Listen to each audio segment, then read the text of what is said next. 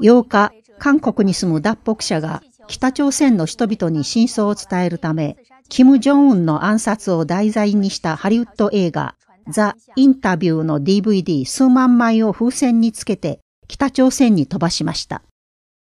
脱北者のイ・ミンボクさんは、ザ・インタビューの DVD 数万枚とドル札、体制批判ビラを風船につけて北朝鮮へ飛ばしました。ザ・インタビューはテレビのキャスターとプロデューサーがアメリカ中央情報局 CIA の指示を受け、キム・ジョンウン第一書記を暗殺するコメディ映画です。映画は北朝鮮の反発を招き、北朝鮮はソニーピクチャーズエンターテインメントに対しテロ攻撃を行うと脅迫しました。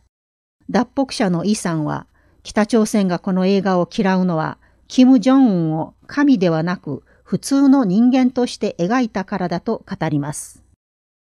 一方、韓国からの風船作戦について、北朝鮮側は強烈な不満を示しています。去年10月、北朝鮮側は風船を撃ち落とし、韓国軍とも短い交戦となりました。